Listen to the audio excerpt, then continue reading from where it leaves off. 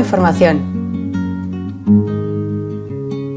Pueblo colombiano para la mesa, vamos todos juntos, sin falsas promesas. Pueblo colombiano para la mesa, vamos todos juntos, sin falsas promesas. Cuba, además de ser un país heroico, que para las FARC en particular es un referente y es un orgullo porque eh, es un país que ha logrado resistir a todos los embates y que se ha autodeterminado como pueblo. Eh, tiene, tenemos un profundo sentimiento y una profunda admiración y solidaridad con su pueblo, con sus eh, gobernantes, con Fidel, con el comandante Fidel, con el Che, con Camilo, con todos los que aquí han aportado a esta gran nación, igual con el apóstol, con José Martí. Eh, también tenemos un profundo agradecimiento por habernos permitido su territorio y hacer sus buenos oficios como garantes en este proceso de paz que ojalá lo alcancemos de manera definitiva.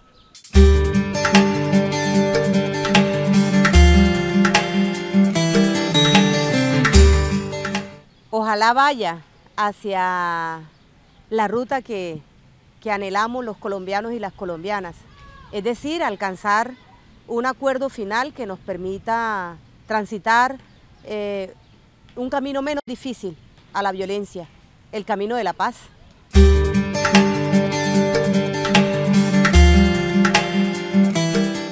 Está sirviendo y fundamentalmente para la gran esperanza de Colombia eh, de que podamos vivir por fin, después de más de 60 años de, violencia ininterrumpida, eh, un momento de paz y de tranquilidad. Es cierto que, que hay una,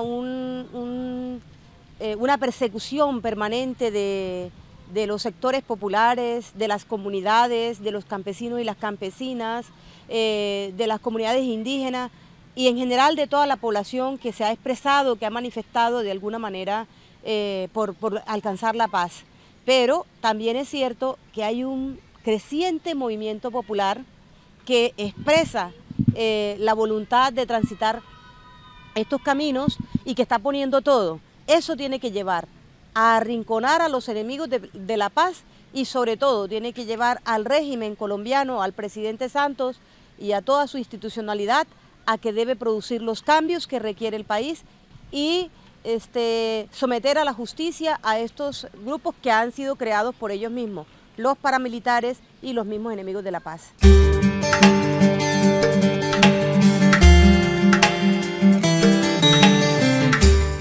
Creemos en ella. Han habido cuatro procesos hasta el momento, con este que estamos. El de la Uribe, por supuesto, en el 84, el de Caracas y Tlaxcala en el 92, 1992, el del Caguán del año 98, 1998 hasta el 2002 eh, y este que lo iniciamos en el 2012. Efectivamente han sido infructuosos, pero creemos que es el momento, tiene que ser el momento. Colombia no puede seguir en la guerra, no puede seguir en este derramamiento de sangre entre hermanos y hermanas. Eh, y por lo tanto creemos que es necesario y que podemos encontrar que este puede ser, por lo menos de parte de la FARC, tenemos todo el convencimiento de que podemos alcanzar un acuerdo definitivo que ponga fin a la guerra.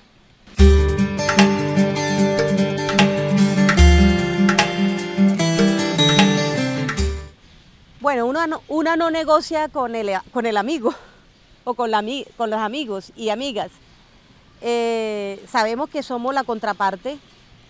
Los odios no son de personas, los odios son contra una clase que ha dominado, que ha violentado, que ha asesinado y que ha masacrado, ha exterminado a la contraparte. Es una lucha justa que hemos adelantado eh, hombres y mujeres, que nos hemos levantado en armas contra un régimen que eh, ha criminalizado, que ha asesinado y que ha perseguido y que ha sometido en la miseria a las grandes mayorías colombianas. Entonces, al estar al frente de, personas como la que acabas de mencionar, militares, exmilitares, personas del gobierno, estamos defendiendo posiciones, ellos las posiciones de, de, la clase a la cual representan y nosotros, la FAREP, defendiendo nuestra posición, la posición de las grandes mayorías.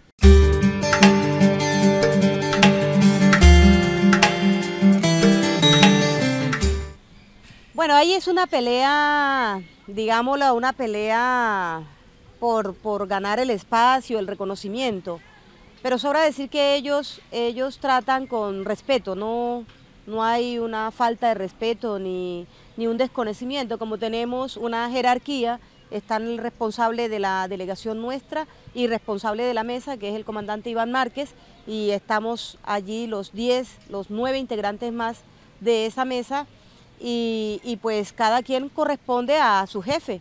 Ellos tienen su jefatura y igualmente eh, hacen la, dirección, pero en el debate, en el debate normal, en la discusión normal de, la, de lo que ocurre en la mesa, la damos, cada quien da, pide su palabra, da su opinión y no hay mayor agresividad ni nada. Ahorita estamos haciendo eh, una experiencia con el trabajo de la subcomisión de género, donde estamos eh, dirigiéndola, por decir de alguna manera, eh, coordinándola una representante plenipotenciaria por parte de, del gobierno y desde la FAR estoy yo. Entonces, pues la relación es normal.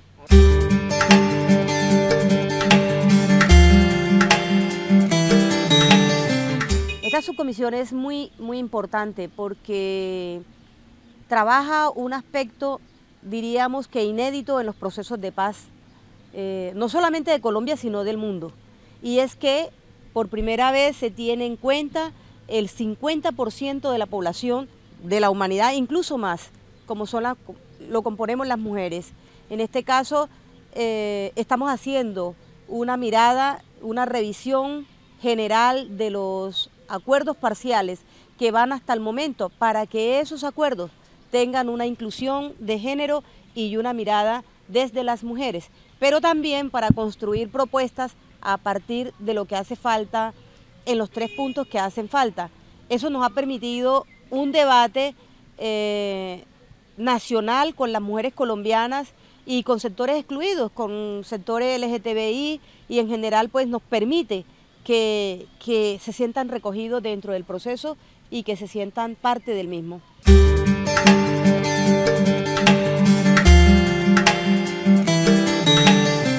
Estamos tratando todo, todos los aspectos. Por ejemplo, en el tema agrario se habla de, la entrega de la tierra a los campesinos. Entonces parte de la revisión es que debe quedar explícita que también serán entregadas y serán tituladas sus territorios a las campesinas, campesinas y campesinos. Eso es muy importante. Igualmente en la parte de crédito, en lo que tiene que ver con la participación política, de la misma manera. Incluso con eh, políticas diferenciales y, políticas públicas que contemplen toda esta parte de, que favorezcan a la mujer para que podamos alcanzar esa igualdad que, que nos merecemos y a la cual tenemos derecho, como sujetas políticas y como sujetas de derecho.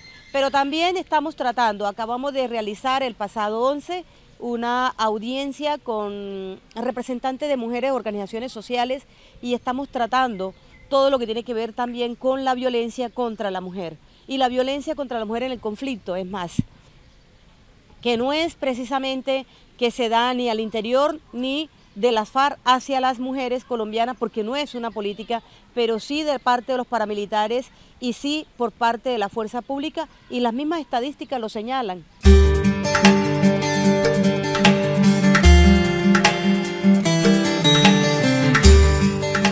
Señora, la que está allí, es una persona seria, trabajadora.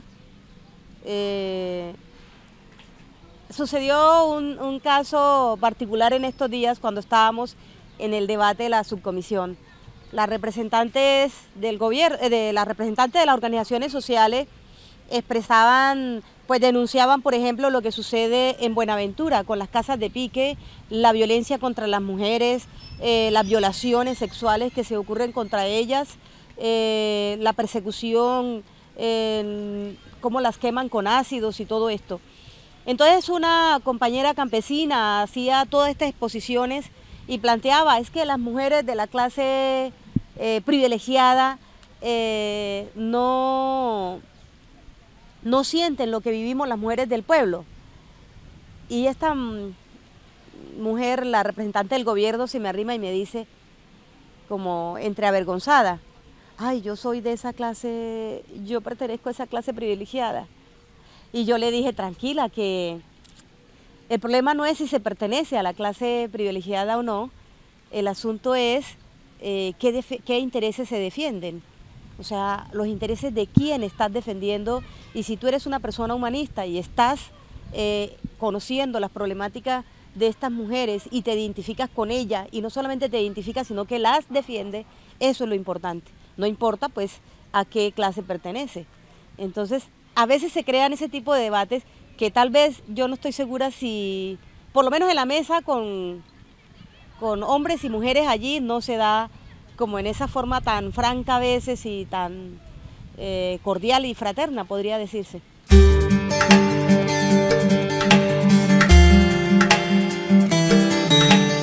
Creo que vamos en esa, en esa ruta, en esa senda de poder producir cambios.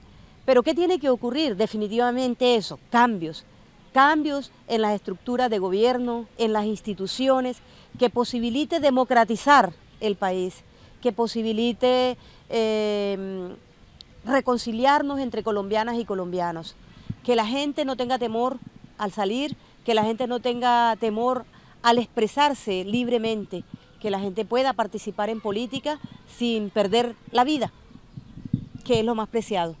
Esas cosas tienen que suceder.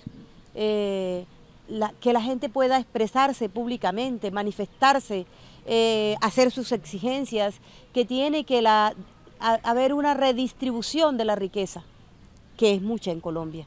Entonces, eh, la población pobre es, es, es extrema. Allá en Colombia hay una pobreza extrema. Eso tiene que cambiar. Y eso tiene que posibilitarse a través de la acción política. Eso tiene que ocurrir.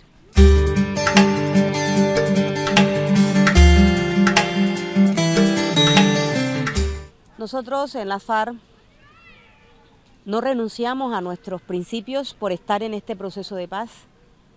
Sabemos que tampoco aquí eh, está, estamos negociando el socialismo, ni lo vamos a hacer, no vamos a alcanzar la revolución en la mesa de conversaciones.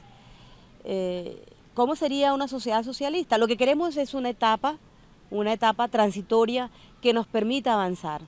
Entonces, cuando yo hablo de, una etapa que democratice la vida eh, nacional, que permita cambios económicos, culturales, eh, sociales, ambientales de nuestro país, que permita un mejor vivir de la gente, que la gente pueda tener salud, que pueda tener eh, vivienda, que pueda tener educación, que pueda tener derecho a la recreación, que pueda tener un trabajo digno.